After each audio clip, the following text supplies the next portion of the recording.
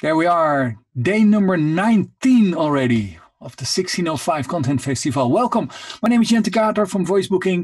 1605, it's a new festival. While we were all in lockdown, we thought, let's do something inspiring. And here we are with 21 webinars in a row.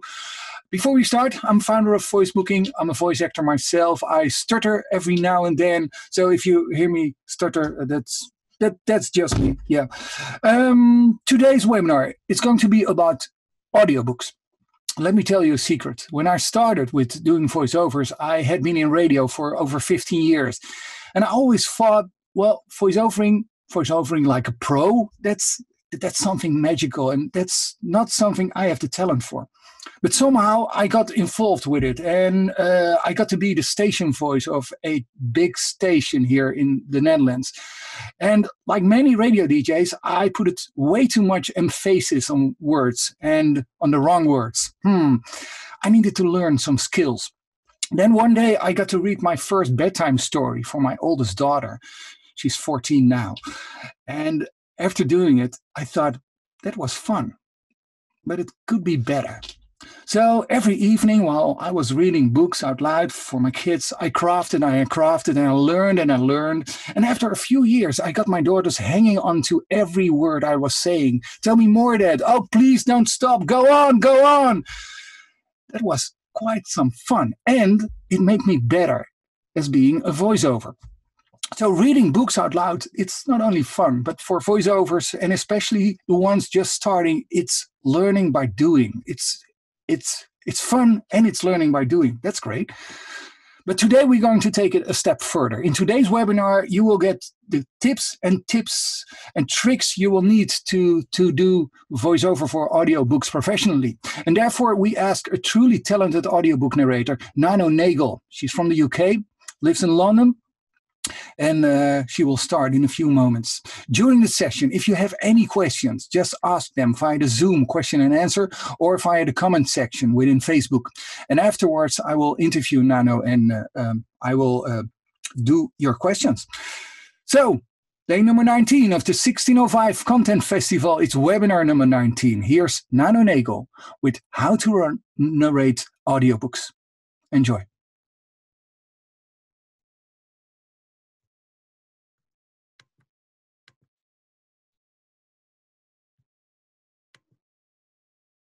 Hello. The Three Little Wolves and the Big Bad Pig. Once upon a time, there were three cuddly little wolves with soft fur and fluffy tails who lived with their mother. The first was black, the second was grey, and the third was white. One day the mother called the three little wolves around her and said, my children, it is time for you to go out into the world. Go and build a house for yourselves. But beware of the big, bad pig. Here we are, doing audiobooks, which I do every day, all the time in my booth.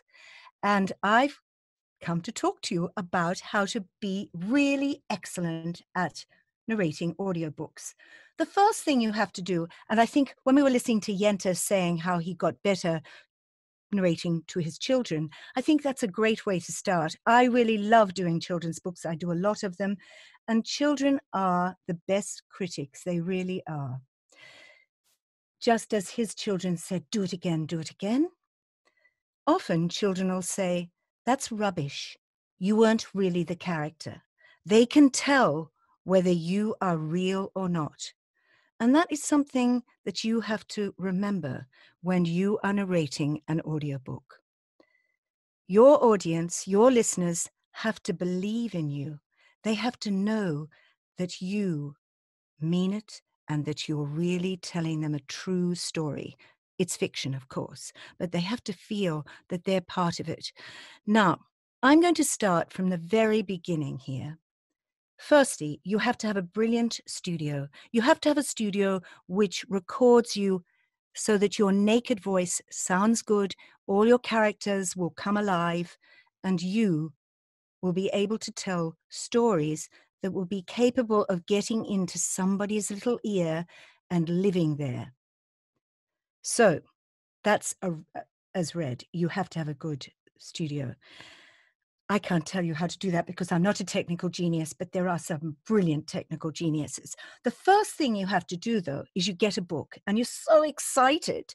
So you get this book and you say, hmm, what do I do? I'll just put it in front of my mic and I will just read the book because that's what I do in real life.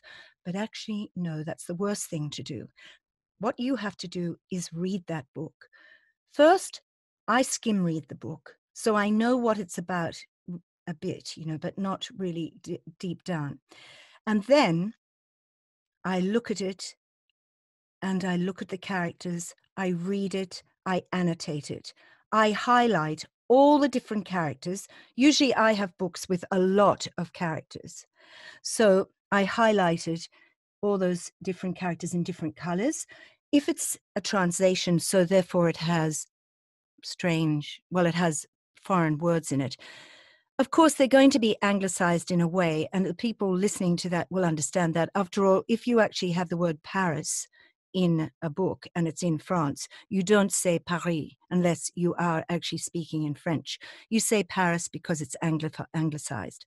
So you do that with most of the words like that. But if I'm doing a detective novel at the moment set in Sweden, and they are running all over Stockholm, and I have to say these words and street names so that they are really understood in Swedish. So you have to do that type of thing, and you have to research what you're doing. Maybe look at a map of Sweden and see where they were going and what they're doing, and the type of houses that they'd be going into, balconies or whatever. It's really important that you know where you are. So that's the setting now, characters.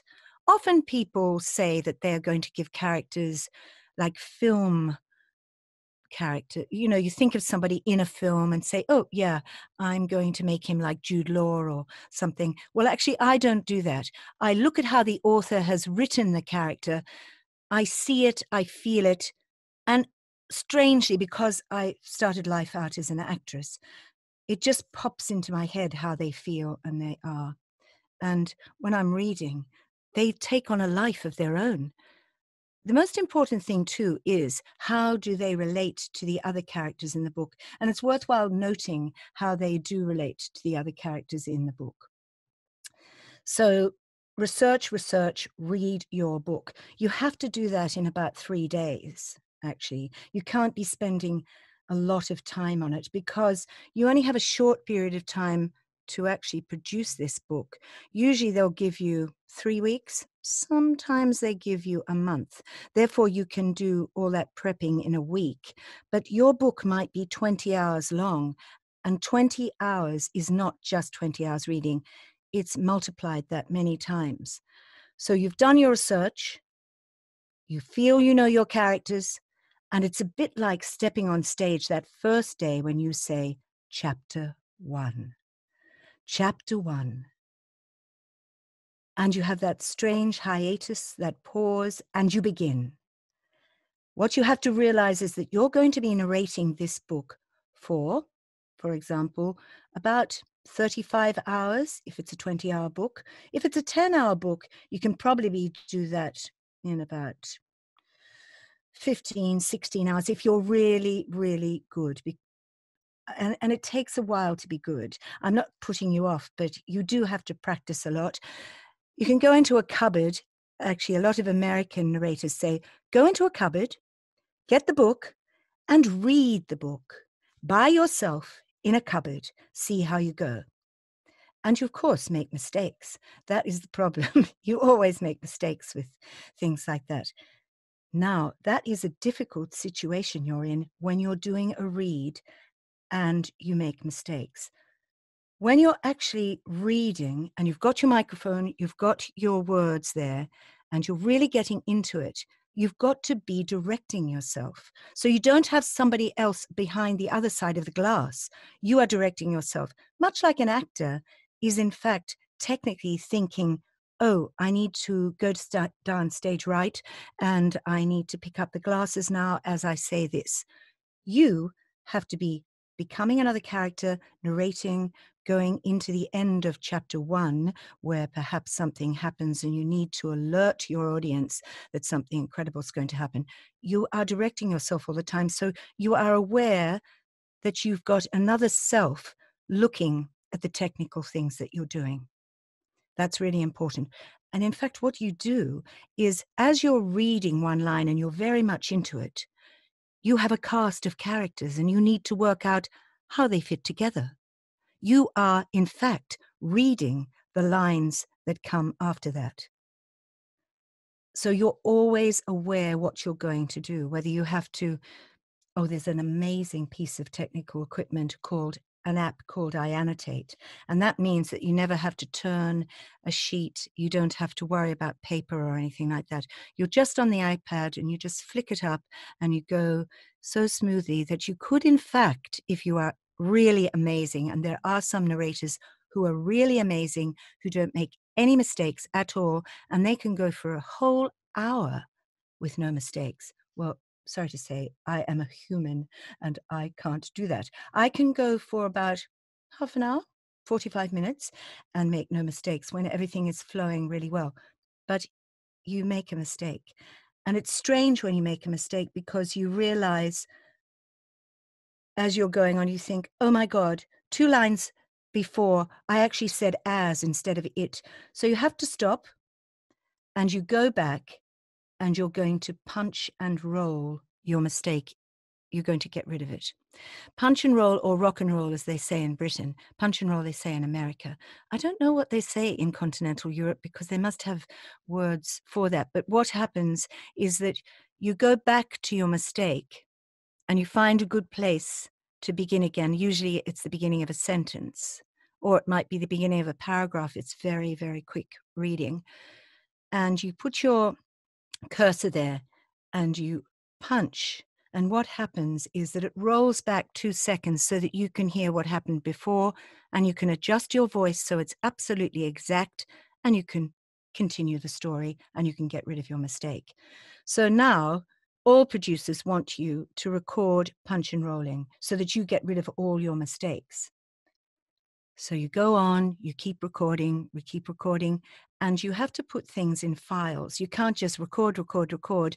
Every chapter has to go into a file and has to be titled. So you have to have it numerically organized so that you start with the prologue and you go to your epilogue. So that's 001 to 0021 or 31, whatever. But file systems are incredibly important because producers are making thousands of audiobooks a week.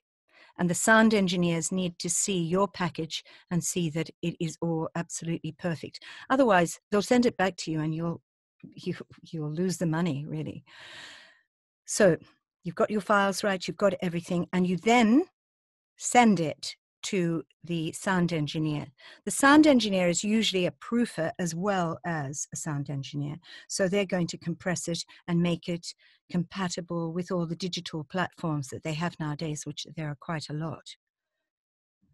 This is when you have to wait. You might be starting another audiobook, so you're doing your prep, maybe you're looking after that.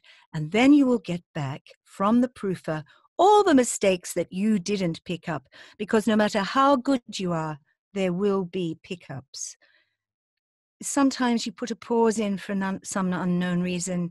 There might be a noise in the background, might have been your clothing, but you may have said a word the wrong way, or you may have said the wrong word.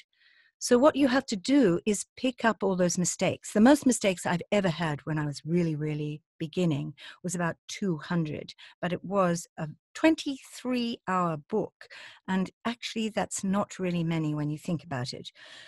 So, when you send up those pickups, they ask you to put it on one file because obviously the sound engineer is sitting there and what he or she wants to do is just pop them in where they are, you know, and they've got the minutes and seconds, they've got the indicators where they are.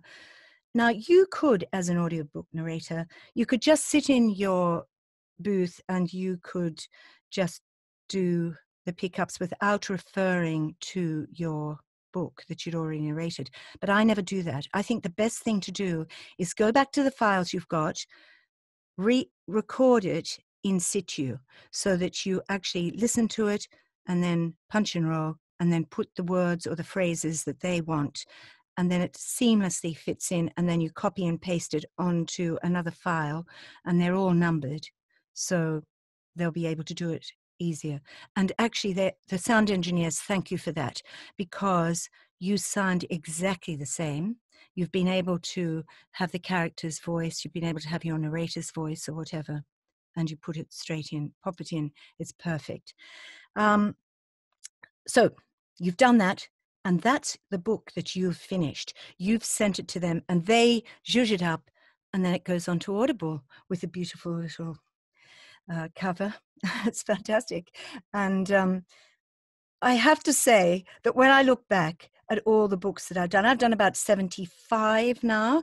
And so that's a lot, but it's not, it's, I think it's an enormous amount. But I have done coaching with audiobook narrators who've done 800 to uh, one and a half thousand books. So you get much better as you go on. Now I think, oh, this is going to take me two weeks, and it only takes me a week. But you have to love books. All I'm saying is about audiobooks. It's not like any other voiceover. It is completely different. You either love it or hate it because you spend a lot of time in your booth and sometimes in this hot weather. That is a very, very difficult thing to be doing. And let me tell you.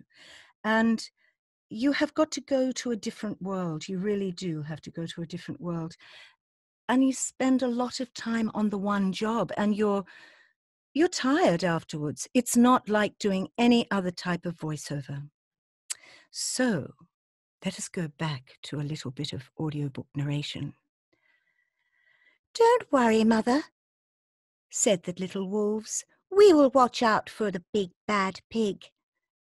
Soon they met a kangaroo who was pushing a wheelbarrow full of red and yellow bricks. Please, will you give us some of your bricks? asked the three little wolves. Certainly, said the kangaroo, and she gave them lots of red and yellow bricks. So the three little wolves built themselves a house of bricks. The very next day, the big bad pig came prowling down the road and saw the house of bricks that the little wolves had built. And what is going to happen next? Jente what is going to happen next? It's so beautiful to see you talking, and, and uh, um, uh, I see, I see what you're. Uh, I see you're you're talking with your whole whole, whole body, which is really beautiful. Great, inspiring words. Thank you very much, Nena. Um, how did you start?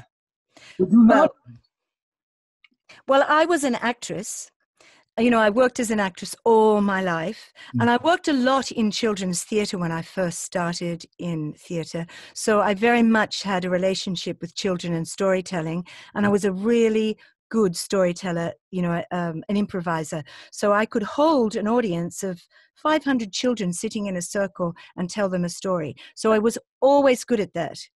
Yeah. And that's hard. Let me, I mean, even if I say so myself, I don't want to blow my own trumpet, but I really loved doing it. And I think that is the thing about whatever you do. If you love it, you somehow be able to capture an audience. And as I grew older, you have less and less parts for older women in mm-hmm. the theatre. And yep. the theatre is what I love because I love live audience. But I realized that I had to find something else.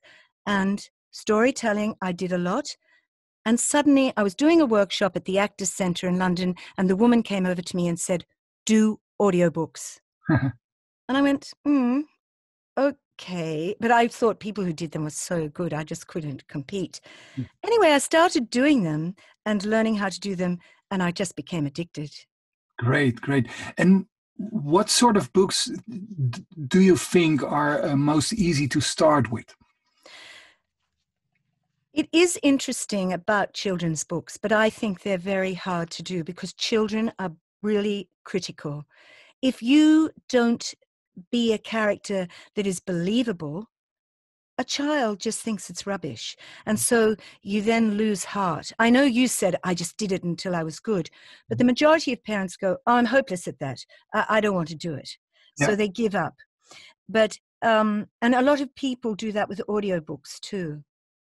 So I think the simplest thing to do is nonfiction. Mm-hmm. Because in nonfiction, you are telling someone how to do something. You have to take on a character because the person who wrote it, maybe they're skilled at carpentry, but you're telling someone how to set out the wood, what you have to do. And in lots of ways, it's calming. Yeah. And I've always thought that that was easy, you know, not difficult. But the thing with nonfiction is um, many times that people write in written language and and not in spoken language. Yeah. Again. I know that you think they do, but in actual fact, if you really research it and you listen to it, you can see that there's a voice there. I recently did a thing called Junk DNA, which was incredibly hard because it was a scientist trying to talk to people and popularize her science. But she had a voice. She was saying, Listen to me. It wasn't a PhD thesis. Mm-hmm you know, which I know what you're talking about, but very few people would want that on an audio. You'll see that most of the nonfiction are self help type things, or they want to popularize science. Yeah. So, so you, uh, so you heard, okay, uh, you had, you had to do something with it, audiobooks, and how did did you start it then? Right. So, I thought, oh my God, I can't just write to Penguin Random House and say, hey, I thought this would be a great idea for me to do, because you have to be so skilled. And as we all know, if you're not skilled and you say to somebody, I can do it, you'll never work again, if you know what I mean, because you are going to fail. So I found ACX, and ACX is a part of Amazon. And what they were doing is it was when people were doing ebooks. And so authors who good, bad, indifferent, were being able to write their own books and publish them. And then Amazon said, hey, wouldn't it be good if you had the ability to have someone narrate your books? And so then they got a group of people to set up this audio side of the e-books. And so I put myself on a profile. I mean, that was quite big by then because in the States, I don't know if you know, but audiobooks are so enormous, it's unbelievable.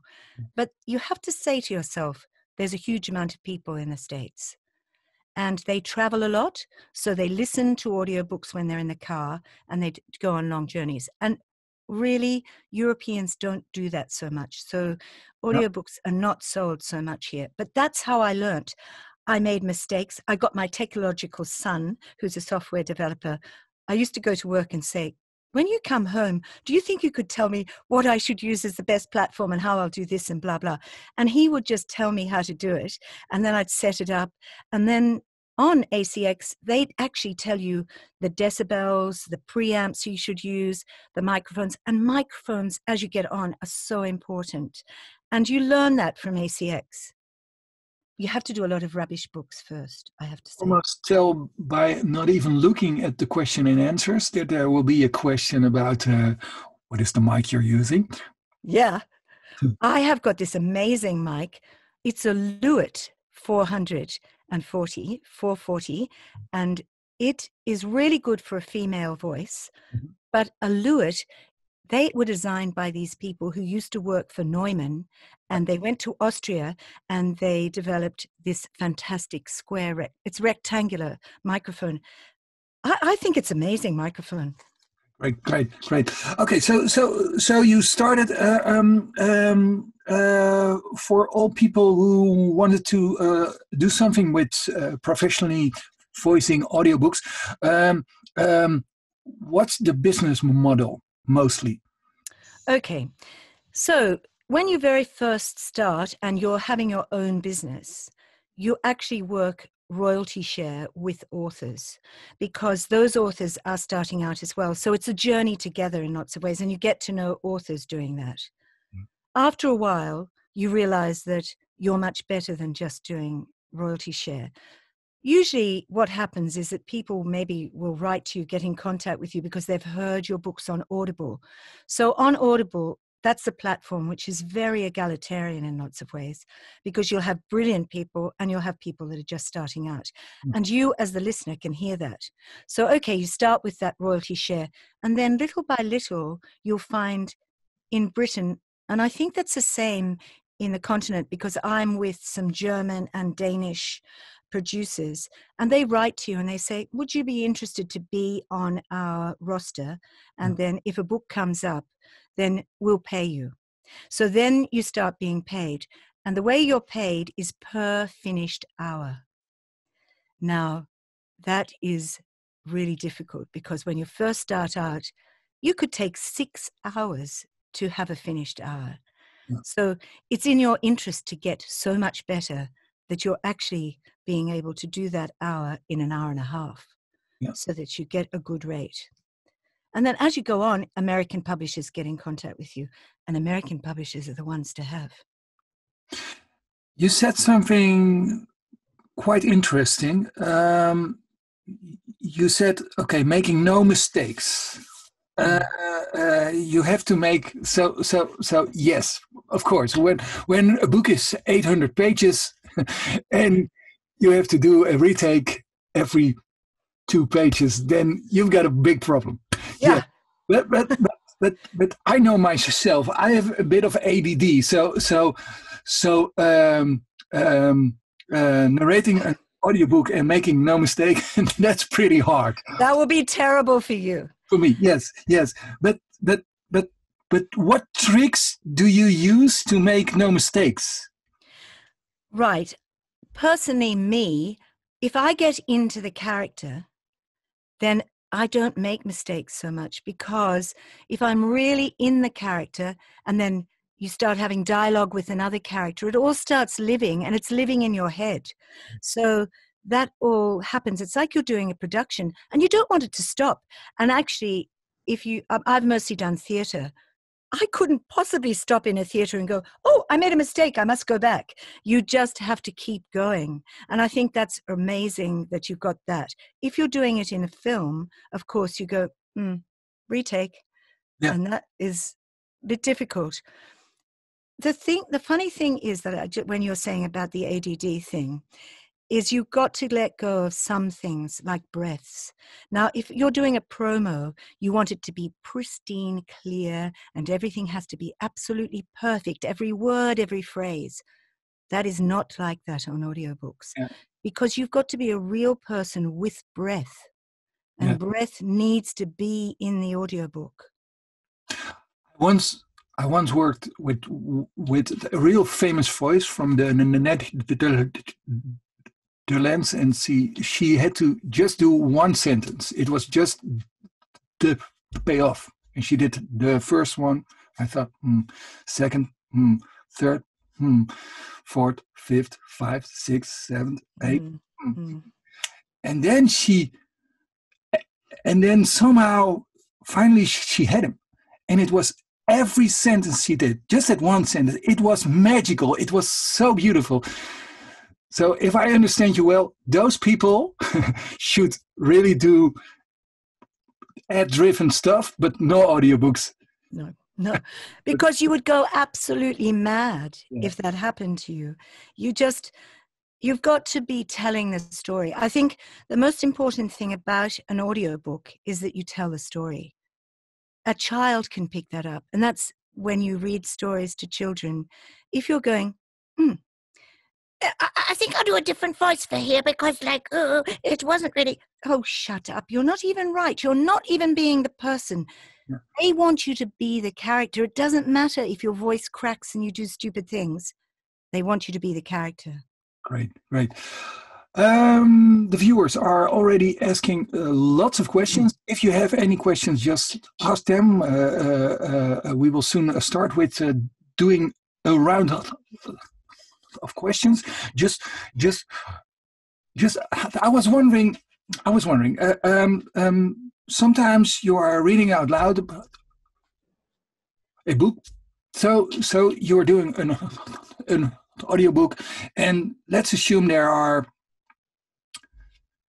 six really big, uh, big uh, characters in the, in the book. So, so you do your preparation, and you think, okay, uh, that one is going to uh, talk a bit low. That one is going to talk high, or or whatever. And and then sometimes you are on pages and you think, oh my god, now now two voices which are quite the same yeah. are there on the same page within a few seconds. I have to do two voices which are hmm bit too much the same. I'm going to tell you what the problem is with what you said. So you said, I've got a voice that is a bit higher a bit lower, and then I can differentiate. Yeah. But that isn't what you do. I say, I'm going to be a man like this because I have a character like this. Yeah. I'm a sneaky bastard. And I'm always going to be like that. It doesn't matter what happens. So I can see that man. He yeah. is a bastard. And he is always going to have that voice because I know him. Yeah. Whereas I'm going to have a man who's not like that. He may sound very similar to him, but he's a truthful, loving, gorgeous man. And he will always be like that. So uh, if I have the image of that person in my mind, mm-hmm. they can talk to each other as much as they want, and you will always know that they're different. Very nice, very nice.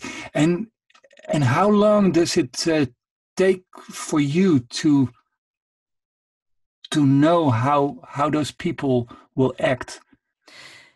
That's the author. Now the author sometimes will take a long time to actually describe a character. You might not know how the character is completely until the middle of the book and yeah. that's why you have to read. So, so, yes yes. Okay so so the thing is that's what you're doing when you're researching. You don't know everything until the end of the book. Yeah.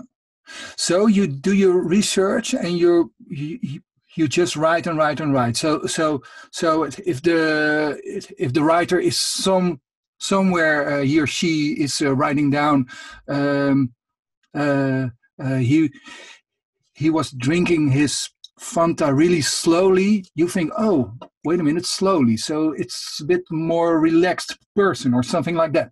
Exactly. It's like looking at a film script mm. or a, a theatre script. Every tiny detail of that person, and it's strange, but you don't you don't realize until you're finished. Oh, I know everything about that person now. So when you say the first word, all those things are there, and you release it slightly, like the author releases it, which is fine.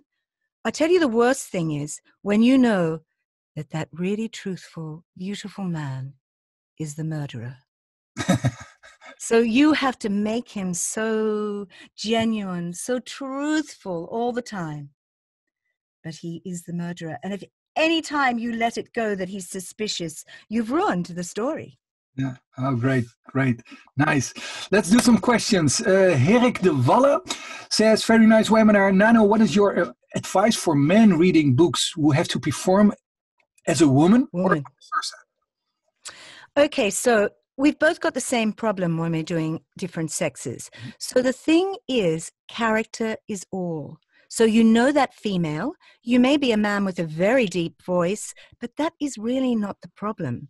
The problem is you being the female. So get the female, and you will find, even when you've got that voice, oh, you, you don't have to go all teeny weeny, but you can have that soft thing because you are being the woman that's the same with me with men. I used to go, oh, like, um, yeah, I'm a man. That not a man's voice. You have got to be the character is the person, the thing. Get to the character first. You can be a woman. Yeah. Okay, great, great. So uh, Richard, Richards, um, I think he's.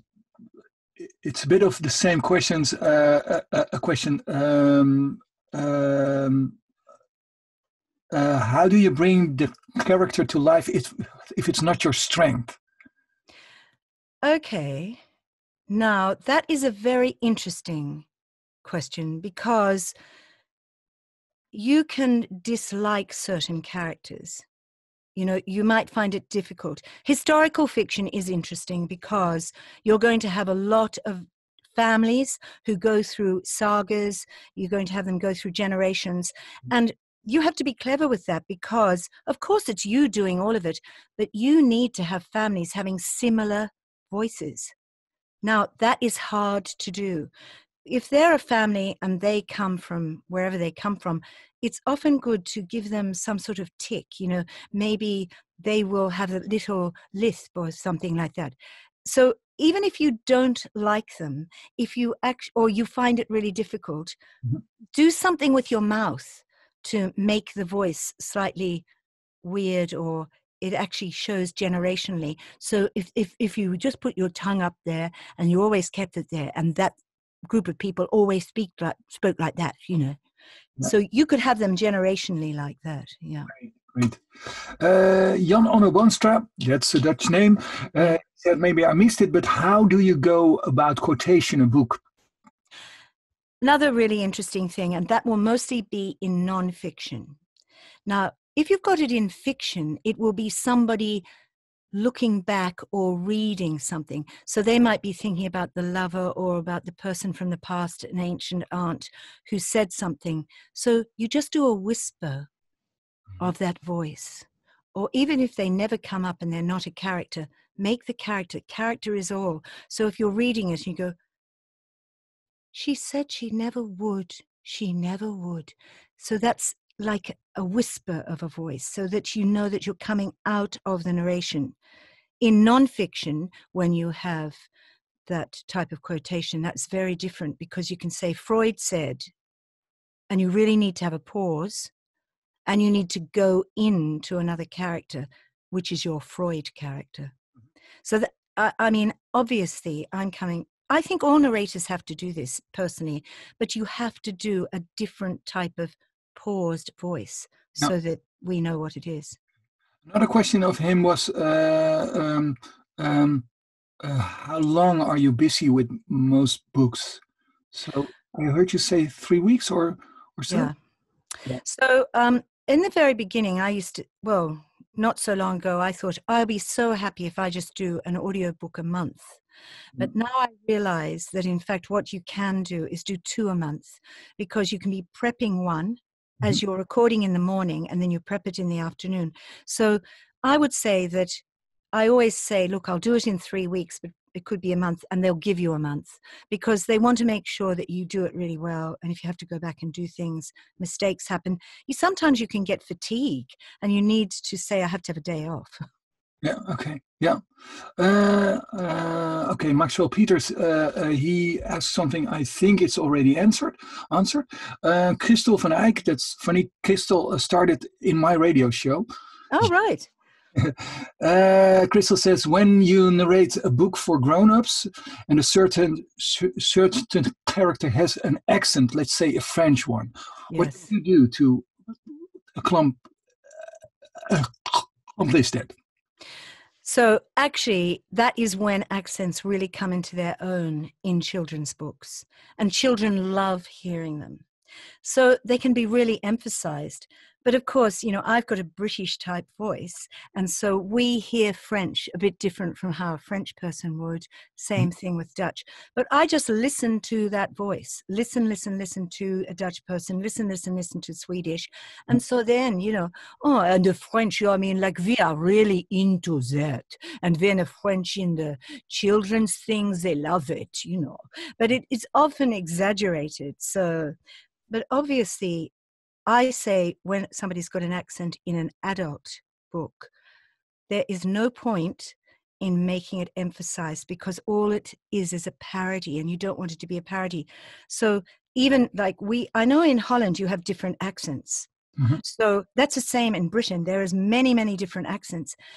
So if you're going to do a Welsh accent or a Scottish accent or a Northern accent, if you lightly touch it, I think lightly touch it, it just means that that person does come from there and it means that other people are not going to find it hard to understand but you just change it you know so like it happens even when you're north american just to put that american thing in don't overact the cake. No no because it sounds like you're parodying the people. Yeah, sometimes producers say, uh, uh, uh, "Don't make a character out of out of, of, of every character." So, so those really small parts you shouldn't do, or or or how did it? Do you see that? No, I think small parts, mm-hmm. just like anything. Think about watching a film or seeing a play you know, you might have the waitress coming on and she is a particular character. She might only come on for 10 minutes.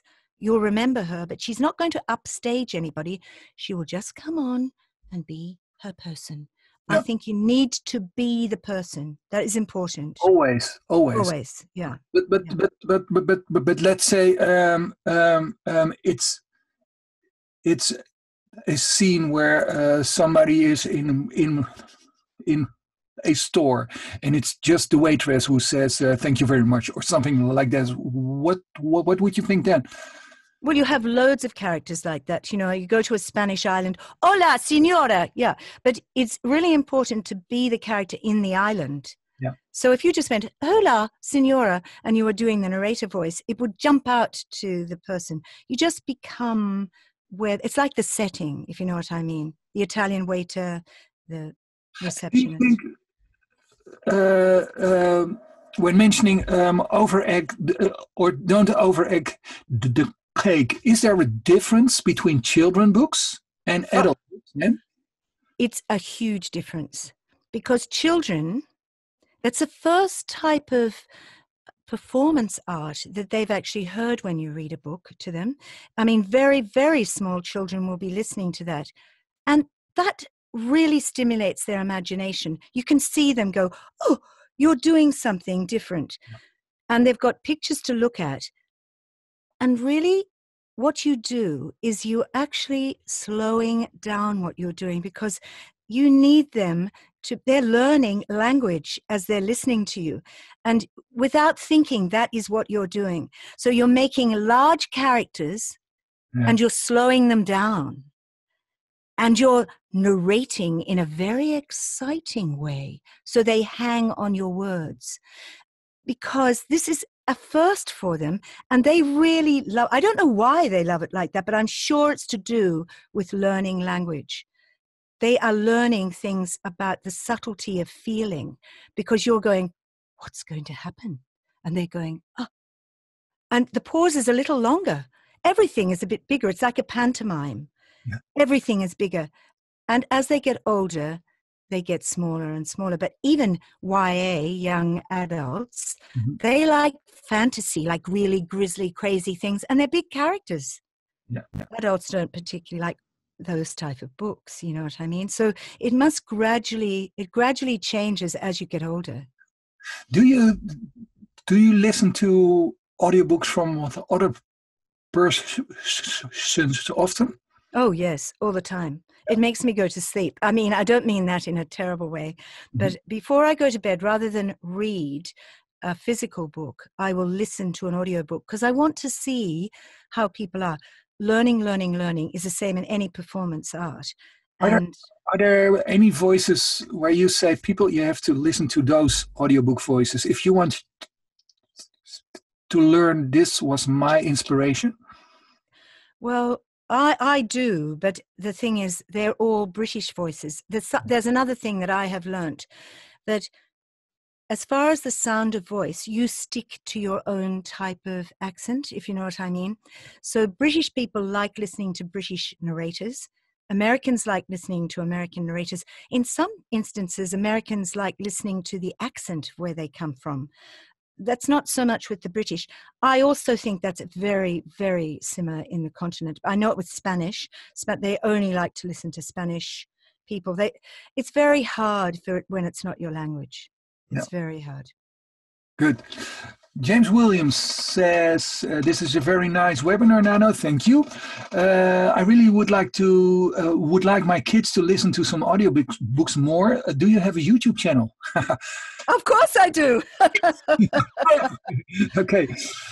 Now, I have a YouTube channel which is actually run for children who um, they're all in different countries and they're trying to get them to listen to a lot of English because, you know, I mean, parents always want their children to keep their mother tongue when they're in different countries. So my YouTube channel is called Mimi and Me. And uh, I, we'll put it on the webinar when before I leave, so you'll be able to click it. But yeah. I do books there from I think it's sort of like about three to four or five. We're getting bigger as we go on, but they're picture books so the children can look at the pictures right. and hear the so voice. Me, me, and me. M E M E. M I M I. Mimi. Yeah, okay. Mimi and and me. Yeah, Mimi and me. Yeah, okay, great. Uh, Richards has another question. Um, am I right in thinking, therefore, that certain voices suit certain works?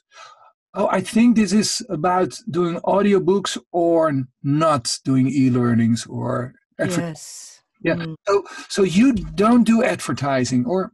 Oh yes, I, I do loads of things for Voicebooking actually, but I, I think people choose my voice to be explainers. You know, I, I am a much more explainer. I don't know why, but my voice sounds knowledgeable. I can do nonfiction, and that's I can sound like I am the scientist, even though I don't understand it. But so that's what's interesting about voices is that your voice fits certain things. My voice is really good for historical fiction. Yeah. Now, therefore, I can do quite a lot of promos because of that, because I'm explaining. Yeah. E learning, I think the same thing about character about e learning, because I've done a lot for children mm-hmm. and just explaining to them if you are just explaining like that, it is really boring. So you need to pick someone, even if it's a teacher you loved when you're at school, and you say, "Oh, we're doing this, blah blah," and we, you're so interested in it because e-learning of any of those long form narration, you need to be interested in every bit of what you're saying. Later on, uh, we will uh, do some questions about the money. That's yes, late. yes, yes, yeah. Cliffhanger. uh, let's have a look. El Pem says, uh, "Oh, that's a good one. If you're talking for days and days and days, how do you avoid a dry mouth when reading four and a half hour nonstop?" Yep. Well, I mean, as I said, you can actually press the pause button. you know that is really important, and you do. So it, when you're in a studio, the the people who you know, because you have a director in a studio, this, they'll always at 90 minutes they'll go 90 minutes. They open all the doors. People walk around and drink water. Yeah. Because you have to be hydrated. It is so essential to be hydrated. Yeah. You can get too much saliva, and that is when you are dehydrated because your body is pouring saliva into your mouth to try and hydrate you for some reason. But I always have a bottle in the booth and I am hydrated. It's better to hydrate yourself before you go to bed. Are there things you do to start your day to prepare your voice? Yes, I always do warm ups. And I find it after a lot of years of acting, because actors also warm up their voices. You cannot use your voice. And I mean, I'm old and I've got a pretty flexible young voice, actually. Yeah because I have always looked after it and I have always done exercises, warm ups. It's just the same as an athlete. This is the muscle that you are using all the time breath and your vocal cords. Are there then also things you don't do in your life because you you, know it's it's bad for you? It's a 40 days a week job for you where you yeah. work for 20 hours or so or, or yeah so uh, the one big thing that has I never do is I don't eat dairy products because dairy products make too much mucus. Yeah. And I mean, sometimes you can go a bit mad and have cream and cheese. And I can tell that. I can feel this little sort of in my voice. So that does happen. And um, I sing. No, I, am not a good singer. I, have never sung as a performance, or maybe you know as a musical, but not as a like Matilda or somebody. But I sing to warm up my voice, so it energizes me. I use my breath, and I really actually do lots of it. And plus, I do gaming, yeah. so you could ruin your voice doing gaming. Yeah, screaming, screaming, and yeah, yeah. And and in an audiobook, can I just say, is that you have a lot of screaming in historical fiction because they have all these battles. But you can't do, you have to do the same thing. You can't go above certain decibels. You have to stay there. You have to have the effort, but not the, the volume. There's a great, there's a great YouTube YouTube click, uh, clip, sorry, about it, it, it, it, Dave Grohl from uh, Foo Fighters. yes. Nirvana, uh, uh, where they uh, let you hear him singing uh, without the music. And the funny thing is, it's a pretty hard rock band. yeah, yeah. He doesn't scream. That's no. And, and, you'll find that musicians know that really well. They are sort of going, I come to, and they're they're just showing its effort, but they don't ruin their ruin their voices. Yeah. Adrienne Kellis, she asks, uh, do you give a workshop? Well, you are doing now. do you also do other workshops? Well, I actually work mostly with children doing storytelling. Oh, and over this period of time, because I can't do it physically, children yeah. and I have done Zooms because doing workshops with children about making up stories is really important for their creative writing. Yeah. So I do a lot of that. Yeah. Right. Another question from Adrienne is Should I get an agent to promote me for audiobooks? Well, this is very interesting because there are a very few agents who only deal with audiobooks. Probably more in the States because in the States you earn way more money mm-hmm. and they like working with union people, you know, so that is a very big difference between Europe and yep. the States. And they earn an amount of money which is sanctioned by the union. And therefore, it's in the agent's interest to work with people in audiobooks, even though it's much less money than doing games or something like that. But personally, I've got an agent, and the agent only puts me up for things like games because that's money. They don't put you up for audiobooks. Really, audiobooks are word of mouth, and you have to write to publishers yeah. with samples. That's another webinar we should do how to make a perfect sample because people who are casting you only listen to about five seconds. That's a really good one. Yeah. Hmm. Arja Ipenburg, that's a Dutch name. Uh, she says, uh, when doing a biography, uh, do you give the person the tone of voice he or she has? Well, I think it's she then. Yeah.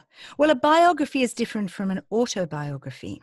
So yeah. you've got a difference there. So a biography is definitely somebody looking at the person. Mm-hmm. So you need to take on the author's persona. But an autobiography is very different, I think, and I've only done one of those, where you look at the character.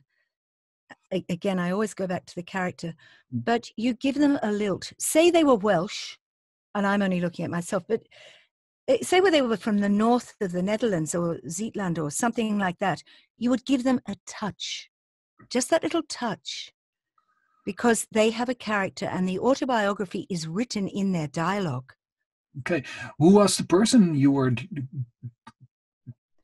doing the autobiography?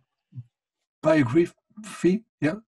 She was a circus performer and she came from the East End. So, in lots of ways, it was pretty easy for me because she was sort of like, you know, a, a girl, and I could.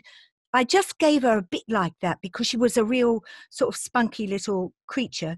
And as she got older, she became more sophisticated. So it was really interesting. Yeah, like, and then she dampened down and she wanted people to think of her as very sensible and everything like that. Really nice. Anna Jos, she asks, uh, what's the maximum number of hours you record on one day? In one day.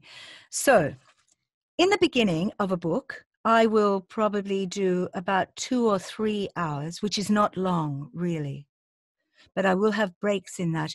But because that's the beginning of the book and I'm starting it. Yeah. Then when it heats up, you actually get so interested in it, you can do about four or five hours. And then they might be writing to you and saying, When is it? When is it coming? And you think, God, I have to finish it. So there is a bit of uh, heat on you. And so sometimes when you're at a deadline, you can do you could do six or seven, eight hours sometimes. A day.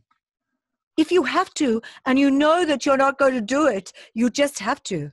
You work into the night. Remember, if you've got your home studio, you can just creep into the middle of the night. It's better than not sleeping. This was also a question from Machteld van der Graag. You know Machteld. Oh, Machteld. um, but, but, but, but, but doing six hours in one day or eight or, or um, um, I think I think um, in many jobs uh, sometimes there is a deadline and you you just have to manage it. Just you do have to have to work work and work till three o'clock uh, in the, the, in the morning. But being in a rush while doing an audiobook, you can't do that. That is why you have to keep being your narrator. You have to be calm. So I'm saying those eight hours, but I'm not doing them just one after the other. I'm going to have two hour chunks. I'm going to go for a drive. I might teach a lesson and then I'll come back. There's absolutely no way. I mean, I have done things where I have done it for that length of time, but the reason why it takes so long is because you have to keep the momentum. You have to be in the character. You can't change it. No. Okay, so um, I think uh, we're going to wrap up. Uh, we have to talk about money. Oh yes, something we have to do, and and I think for uh, all people who are watching, who are, are just starting out, or all the adult, uh, no, sorry, all the parents who are thinking, okay, this is really great, but but but but I want some some. Um, oh, I forgot the English name. Uh, um, uh, uh, well, I will just ask you the question, then you will know. Yeah, yeah. what What are good children's books to read out loud? Okay, well, uh, Julia Donaldson, Julia Donaldson, they're very simple English books mm. and they are really funny because they're about monsters who are funny and cuddly. So, and she does some very sympathetic things about children growing up or losing people. And they're all metaphors because they're creatures. And once you get into picture books, put in Julia Donaldson, and you, she's done a lot of books, but there'll be people next to her that they'll say, if you like this, you like that.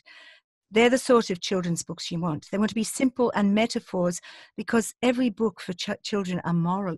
No, they're all they all have morals, but you want the ones that are funny, not the ones that are going. If you brush your teeth, if, if, if, if. No, yes. don't have that rubbish. Mm. So you want to have fun. You want to have characters coming off the page. What do you think of the Harry Potter books? I love Harry Potter. I used to, re- I read all those books to my children out loud. They, in fact, didn't even want to read them by themselves because we just brought them to life. That we, we, in the holidays, we used to lie in bed for hours reading Harry Potter. what for me was the horror point it's that point where your kid is in um, here in Holland, it's the eighth grade. I, so so yeah. when they are um, secondary school, like they're going to the big school. Uh, yeah, yeah. So when they are uh, somewhere between eleven and twelve year old, old yeah. then there's the moment. Okay, st- stop reading. Stop. Yeah, preteens.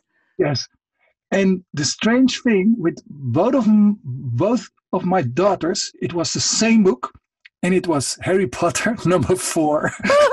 somewhere halfway, it was okay. Okay, Dad. That's enough, Dad. But that was when Harry Potter there started to be love interest, and that that was the bit where they went. I don't want you to be talking about her kissing him yeah. and liking him. No, that that really freaks them out. Yeah, maybe, maybe yes. Um, have you uh, have you read Alone in the World from uh, um, uh, Hector Malot, the the the, the French? Detective. No, no, it's oh. the French uh, Sans Famille. That's the French. Oh, I'm going to read that. Yeah. Alone in the World. Alone in the World. It's. It sounds so familiar to me, yeah. but I haven't read it. No. It's an epic international story.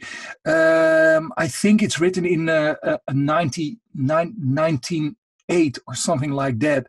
Mm. Uh, um, for me, that was one of the best best books to read out loud for children ever. And it's strange because it's from 19 eight, and then you think, okay, it's written in an old language or so. No, it's really, really great. Actually, the French do that really well. I mean, even and the t- Tintin, Tintin.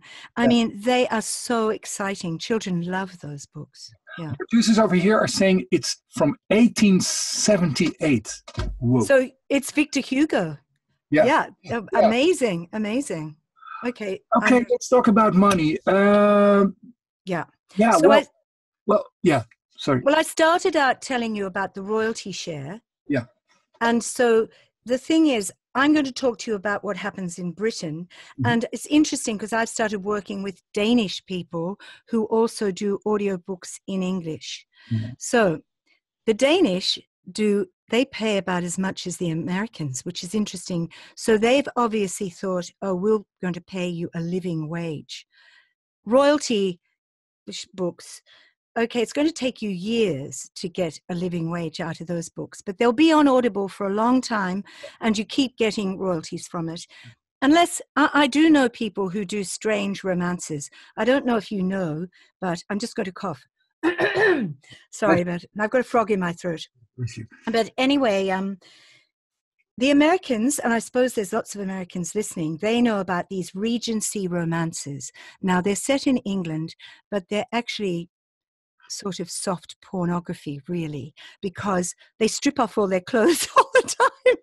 But those are very popular in America. Now, if you do those on royalty, you earn a huge amount of money because they are turning over all the time. So if you go onto ACX, the things to choose are romances. You'll make money from doing that. So choosing your title when you do royalty, you'll make money. But if you want to do literary works, mm-hmm. that's hard. You don't make money from that. So then now you get to a different platform where you've got small publishers. Small yeah. publishers look for narrators because they've realized that when they put out a book, when a book launches, they have to launch the audiobook now. So they are looking for audio narrators.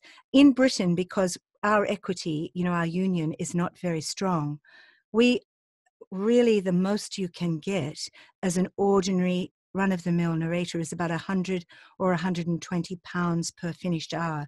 And that isn't very much money, actually, when you put so much work into it, because it is a labor of love. If you are a celebrity, because now they've realized there's all these celebrities are going to do it, but I have to say with the proviso that some celebrities hate doing it because it's long form and it's so tiring. They just hate doing it. So that's good for people like me. It's work. yeah, yeah, yeah. They just hate it. But they get paid thousands per finished hour. Thousands. So. um, um, do you think with some books oh okay this is a book where i think i have to ask more or or you think i have to ask less yeah, well, I, now I've started working for quite a few American publishers, yeah. and um, they say, "Oh, I'm going to pay you two hundred and twenty-five pound dollars per finished hour," and I say, "No, I want two hundred and fifty because I'm an equity member and I'm SAG-AFTRA." So, very easy, they go, "Sure, fine," because if they want you and you've got a quality voice, they will give it to you the Americans are really, I, I, I'm sure there's Americans listening to this, but they are much more generous spirited than the British. The Continentals, all right, all right. but I mean, I think on Europeans are much more like, mm, are you worth it? You know, they're not really sure because they don't know about sales. In America, it's marketing and they make a lot of money from audiobooks. We don't. In Europe, we don't. So I think the problem uh, in the Netherlands is that our our home, our home market is so so small. Well, yeah. So if you do a Dutch audiobook, uh, uh, uh, yeah, how many people in the world are there who are speaking Dutch? Is I think it's 25 million or something like that. Yeah. So that's something else than doing. Yeah, I, I think that's difficult because people would really listen to them I mean, I think you would have good sales because the one thing I've learned is people like listening to their own language. They really do. So if somebody had a niche publishing house that did audiobooks for Holland, I think they would the authors would love it and they would sell well. Because in Norway, you know, I did Vigdis Hjorth, who is a really amazing novelist in Norway. Well, nobody in the world has heard of her, but she is so big that people in the world have heard of her because she's groundbreaking. Now, she wouldn't have sold much in Norway, but she sold. I, I, did her book and it sold. You know, I mean, people are very interested in listening to translations. Yeah. Okay. And, and um, how about retakes? Uh, uh, uh, uh um, well, pickups, pickups or retakes? Yes. Um, what's the difference? Sorry. Okay. So retakes is what the punch and roll thing, where you know you've made a mistake as you're narrating and you stop, pause, go back and fill it in and correct it. That's a retake. But a pickup is where the engineers got it, the proofers got it, and they go, mm, you should have said he should have done this, not he would have done this. And you have That's to. That's what I mean. Yes. Yeah. Mm-hmm. So then when that happens, you have got to go through the whole book. Yeah and you have got to do all the pickups absolutely perfectly. That's a lot of it's mm. hard. That's hard. Yeah. It's not easy. But but but but uh, um, are there? Um, do you sometimes uh, uh, um, charge extra for that, or, or? Well, no, because that's the per finished hour. It's a lovely word, isn't it? Per finished hour. So the hour is finished when you're finished, not when you know you think you are. So you've got to do those. You've got to do the pickups. It's a part of it. Yeah. Great. All right. I think we're there. Um, on such on such a warm day. Uh, yes. Um, we did it. We did it. We thought we weren't going to be able to stay here, didn't we? but but but it's such an amazing craft, and uh, I think uh, I think we both are so lucky to to be in in voiceover and. Uh, um, uh, um, if I look at how many people are watching right now, uh, uh, there are many people who are watching who are thinking, I have a great job. It is a great job. I mean, the fact is, you are so satisfied after a day's work. That's why sometimes you could go on for a long time because you're satisfied. Yeah, yeah, that's a good one.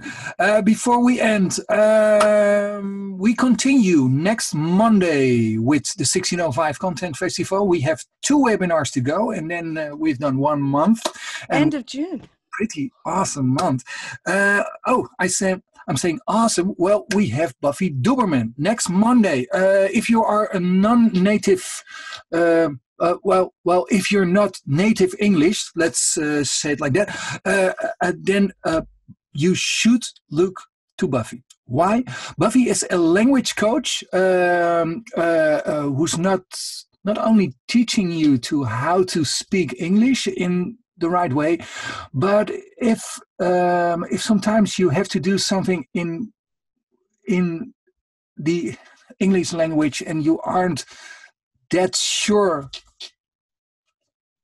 um, if you are the right person to do that, she will give you just the amount of. Uh, here you have it. I'm a non-native English. Uh, um, how should I say it? Um, she makes you just strong.